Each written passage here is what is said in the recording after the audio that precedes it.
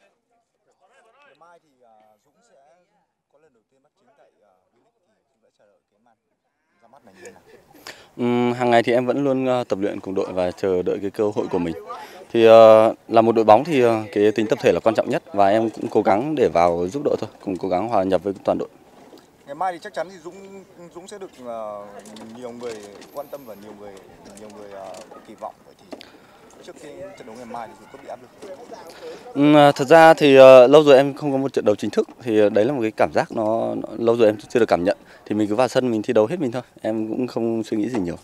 Quãng thời gian qua của Dũng tại thành phố Hồ Chí Minh thì có được như Dũng kỳ vọng trước khi mà mình đồng ý chuyển đến đây? À, đơn giản là cái cảm giác của em và cái cảm nhận của em về cái cuộc sống và cái, những cái lúc tập luyện thì em cảm thấy ờ, thoải mái với cái môi trường của mình. À, sau một quãng thời gian ngồi à, dự bị thì Dũng cảm thấy cái phong độ của mình hiện tại là như nào? Có- Ừm, có lẽ điều đấy thì nó được khẳng định trong các trận đấu chính thức. Còn à, trên tập luyện thì à, em vẫn nỗ lực hàng ngày. Dạ, em cảm ơn. Thêm một câu hỏi bên lề nữa. À, Dũng biết thông tin về đoàn hậu trở về như thế nào? Ờ, em có nghe thông tin ờ, nhưng mà em vẫn chưa nói chuyện với hậu. Em không biết là điều đấy là chính xác hay chưa bởi vì hiện tại thì cậu ấy vẫn đang bên Hà Lan. Ờ, Nghĩ sao về bắp đùi của Văn Hậu? Ừm, ờ, khủng khiếp. Ờ, thi thoảng thì em mà lúc cậu ấy ờ, tập luyện ở nhà cậu ấy có gọi và em thấy cái cái cường độ tập của cậu ấy kinh định kinh khủng đấy. Nếu họ trở về thì có Dũng có thấy tiếc không? Ờ, thật sự là tiếc bởi vì à, ở Việt Nam à, bây giờ không không còn cầu thủ nào đi nước ngoài thi đấu nữa và em em cũng cầu mong là có có một cầu thủ trước mắt là Văn Hậu nếu mà cậu ấy có thêm cơ hội nữa thì tuyệt vời.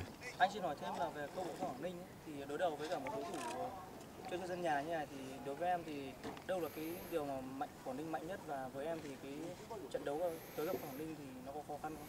Ừm, có lẽ là khó khăn thì khó khăn à, chung của toàn đội bởi vì đây là sân nhà của Quảng Ninh và bọn em sau một cái thất bại thì bọn em à, sẽ nỗ lực hơn à, rất là nhiều trước trận vừa rồi. Ở Quảng Ninh thì có cái hàng công bây giờ cũng ghi bàn thắng rất là nhiều với em thì ở trên hàng mặt trận tấn công thì những cái cầu thủ nào là cầu thủ quan trọng về phía Quảng Ninh? À, có lẽ các cầu thủ ngoại và các cầu thủ nội có ờ, có một cái lối chơi rất là gắn kết và bọn em cũng theo dõi trận à, gần nhất của Quảng Ninh. Đấy là một trận đấu mà họ thể hiện cái sự tấn công à, rất là mạnh. Sau một trận hòa và một trận thua thì cái bầu không khí trong đội à, lúc này như thế nào? Ờ, có lẽ mọi người cũng thể thấy bọn em à, luôn vui vẻ và tạo lên một cái tập thể đoàn kết. Đấy là một cái mà huấn luyện viên à, Trung muốn à, đưa tới cho bọn em.